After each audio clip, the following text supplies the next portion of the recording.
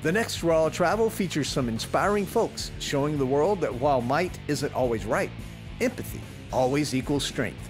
It's empathy equals strength on the next Raw Travel.